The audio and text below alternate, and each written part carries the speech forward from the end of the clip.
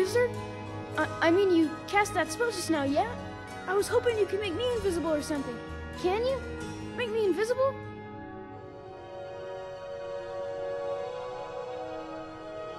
Aww. And here I thought you could do it. Well, I'll just have to think of something else then. Bye.